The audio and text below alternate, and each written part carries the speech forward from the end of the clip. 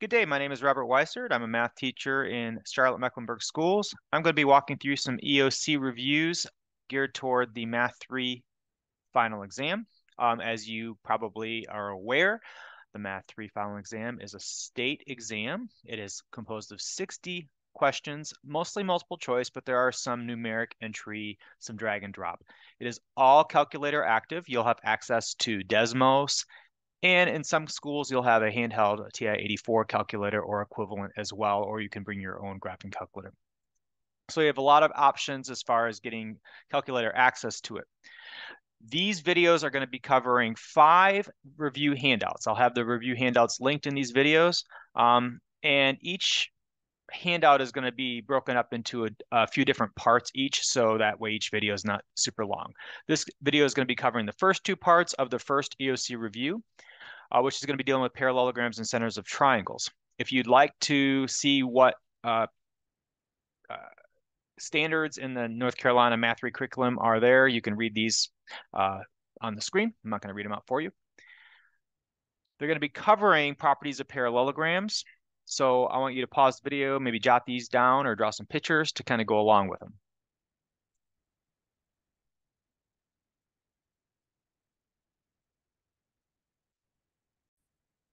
In a parallelogram, opposite sides are congruent, so you might be dealing with problems that involve solving for a variable um, setting two opposite sides equal. You'll also know that the opposite angles are congruent to each other, so you can also set opposite angles equal to each other if that's the case. Also, consecutive angles are supplementary, meaning they add to 180. So any two angles that are uh, next to each other, not across from each other, they're going to add to 180. Finally, I think the most common one is um, where diagonals bisect each other, meaning those diagonals will cut each other in half. Um, so in a parallelogram, not equal to each other, but diagonals will cut each other in half, and that point right there will be the midpoint of both diagonals. Let's consider on a couple of problems.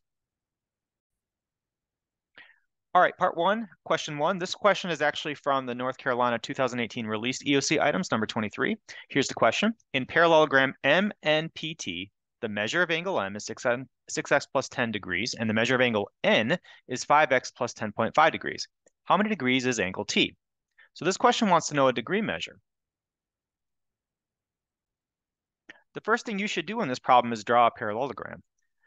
Next, you want to label it. When you label it, you want to go in the order that the letters you see in the name of the parallelogram. So you don't want to skip, go consecutive, M, N, PET, like you're going around in a circle. Since we're dealing with two angles, we want to label inside of the diagram as to show where the angles are. You can see these two angles are consecutive because they're next to each other. You can also look at the M and N next to each other in the name to kind of tell that.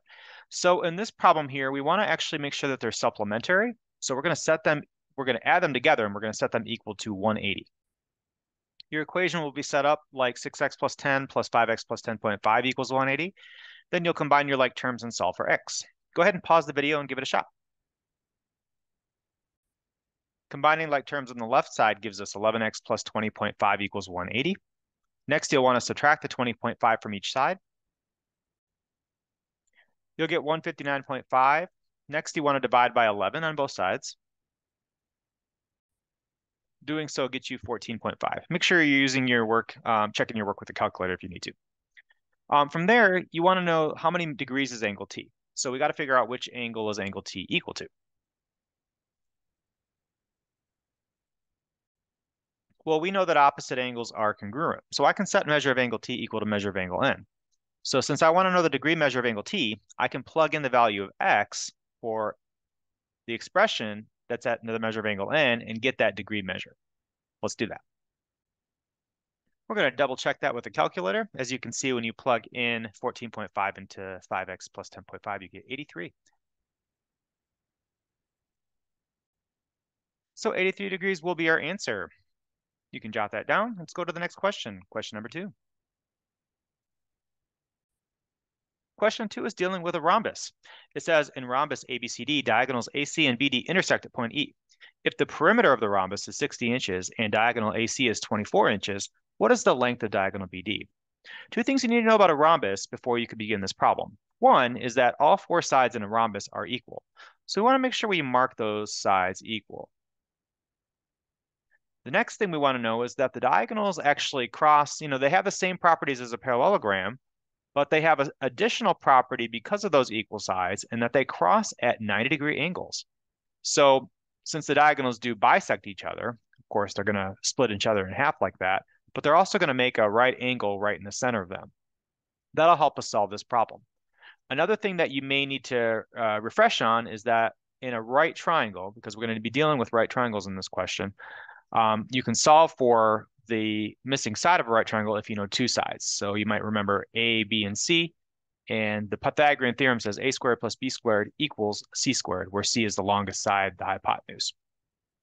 Those things you're going to need to know to be able to solve this problem. So pause the video, see if you can get this a shot, and we'll work it out. All right, guys. Now I have the diagonal AC marked on the outside just so we can kind of draw inside of that problem.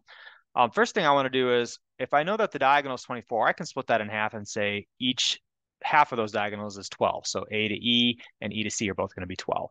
The next thing I want to do is I want to look at that perimeter. Perimeter means the distance around. And I'm going to divide that by 4 because each side is going to be one quarter of that. So one side is going to be 15 because when you do 60 divided by 4, you get 15. Again, check yourself in a calculator if you need to. Um, so each side of those is going to be 15 inches. I'll not worry about the um, unit measurements on here. So the question wants to know what's the length of diagonal BD? I want to know from B to D. So what I can do first is I can break this up into a smaller right triangle.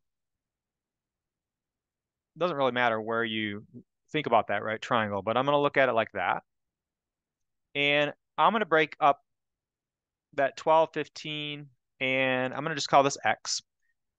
That segment length from B to E, I can solve using Pythagorean theorem. So I would set it up like X squared plus 12 squared is equal to 15 squared. Help your calculator if you need to. Um, I'm going to just do the squares uh, in my head because I know the numbers, but again, use a calculator if you need to. 12 squared is 144. 15 squared is 225. Since the hypotenuse has the number, we'll want to subtract the 144 from both sides.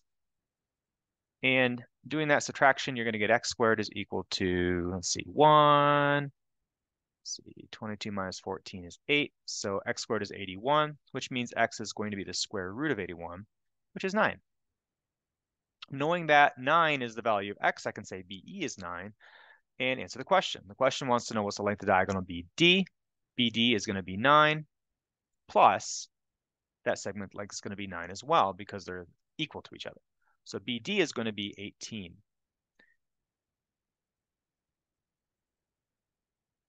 Nine times two or nine plus nine is going to be 18 inches. And that is the answer to this question. Let's go on to the next section. You'll have a couple problems on the EOC dealing with triangle centers. And there's a few terms that you're going to need to know for this. Uh, one is that uh, triangles all have a median. A median is a segment that connects one side to the opposite midpoint, or excuse me, one vertex to the opposite midpoint. And if you draw all three of them, they meet at a point called a centroid. So that point's here a centroid. And that is a nice little relationship that splits that median up into a one to two relationship. So like if that's two inches, that's going to be four inches. And that distance from the vertex to the centroid is actually two thirds the length of the whole median. So if the whole median is six, then that's going to be four. Four is two thirds of six. And that works for all the medians. Angle bisectors, they cut the angles in half. I don't know if you can see these very well, but each of those angles is marked congruent. And there's quite a few properties on there, but the main thing is, is that they form a point where they all meet called the incenter which is the same distance from each side of the triangle. We said it's equidistance. It's the center of a circle inscribed in the triangle. So that's kind of a nice little property. Incenter is from the angle bisector. And then finally, we have perpendicular bisectors, which perpendicular means that they write, at a uh, 90 degree angle, but they also bisect the sides. So you might see that side cut in half, or that side cut in half, or that side cut in half. And they form a point where they all meet called a circumcenter, which is the center of a circle going around or circumscribing the circle. And that point is actually equidistant from all three vertices of the triangle. So it's going to be the same distance from all three vertices because those are all going to be a radius of that circle. So those properties will help us solve the couple questions that are following next. Okay, this is uh, part two, question number one. In triangle ABC, given the length AB is 15, BC is 20, and point F is the centroid, what is the length from A to F? So since they tell you point F is the centroid, then we can go back to those properties I just talked about, and we can say, if I want to know A to F and point F is the centroid, I know that AE is the median. That's a median here. So therefore, I know that that segment here from B to C is going to be split in half. And each of those segments are going to be uh, 10 units long since the whole thing from B to C is 20. The next thing I know is AF is going to equal 2 thirds of AE. So since I have a right triangle in this case, I can once again use Pythagorean theorem and I can solve for that segment length A to E using that hypotenuse. Okay, so I'm going to call that just C and we'll say 15 and 10. So you're going to use the Pythagorean theorem to help you and utilize your calculator on there to set up an equation using a squared plus b squared equals c squared. So I'll say 15 squared plus 10 squared is equal to c squared. Why don't you pause the video, see if you can solve that out for c. All right, setting that up, you get 15 squared plus 10 squared equals c squared. 15 squared plus 10 squared is 325, as you can see on my calculator. And you want to take the square root of 325. So square root of 325 is about 18. I'm just going to round it to 18 just to make things a little bit easier. So we'll write that out. All right, so since I have the entire hypotenuse in the middle from A to E as around 18, now I can split that up. Now I don't want to, what I do not want to do is divide 18 by 2. You want to actually divide 18 by 3. If you do that, 18 divided by 3 is going to give you 6. And that six is going to go right here on the smaller part of that median right there. So F to E is going to be six. And then A to F is going to be two times that. So A to F will be six times two, which is 12. Um, or you can just do uh, two thirds multiplied by 18 and you'll get 12 as well. Two thirds of 18 is again, 18 divided by three times two. So that length from A to F is about 12. Remember, I rounded it, so it might not be exactly 12, but I'm going to call it 12 just to make the calculations a little bit easier. All right, let's look at the next question. All right, this question is dealing with a question that was also on the released items from the North Carolina 2018 released EOC. Um, this is question number 25. Um, there is not a lot of information on this problem. It says triangle PMT is shown below. We want to know the, the measure of segment PG. Now PG is this length here. And I want to know how long that is. Uh, it doesn't give me any additional words for information, but it it does show me that these are bisected angles. So these are all angle bisectors. And then since those are angle bisectors, I know that this point right here is an incenter. And what is an center is the center of a circle that is inscribed in the triangle. So if I draw myself a little circle there, that is basically telling me that there are a few segments that are equal to each other, KG, GH, and GJ. Now, if I look over here, I have the GH and GJ right there. So what I can do is I can set these two equal to each other, solve for X. So that's exactly what I'm going to do. So I'll say gj is equal to gh. I do 2x minus 1 equals x plus 3 and solve it out. Uh, subtract the x from both sides. You're going to get x minus 1 equals 3. And then I can add 1 to that 3 to get x equals 4. Now, once I have the value of x, the question says, what's the length of segment PG? Now, PG is that length right there. So I'm going to actually take that value of x now that I know it, and I'm going to substitute that in for 4x plus 1. So PG is going to be 4 parentheses, 4 times 4, plus 1, that's going to be 16 plus 1. So that's going to give you 17 units. The answer to that question is 17. That concludes all the uh, questions on this video dealing with parallelograms and triangles. I hope that was beneficial for you. The next video will be dealing with um, density, volume, uh, area, and cross sections, more geometry stuff to come. Thanks for watching.